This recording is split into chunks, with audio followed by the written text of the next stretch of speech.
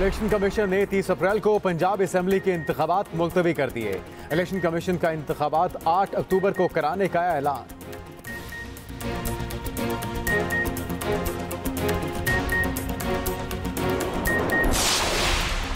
फवाद चौधरी कहते हैं, हुकूमत इंतबात से फरार के लिए आइन को रद्दी की टोकरी में डालना चाहती है।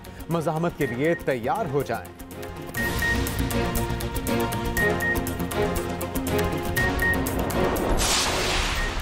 जबान पार्क में आज या कल ऑपरेशन होगा। मुझे मुर्तजा भुट्टो की तरह कत्ल किया जा सकता है।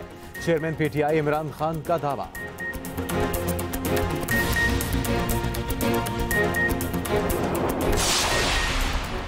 वज़ीर दाखिला राना सनाउल्ला कहते हैं, किसी भी सियासी जमात पर पाबंदी लगाना दुरुस्त अमल नहीं। पार्लियामेंट आइन की पासदार है। रहनुमाई में तमाम इदारे अपना किरदार अदा करें।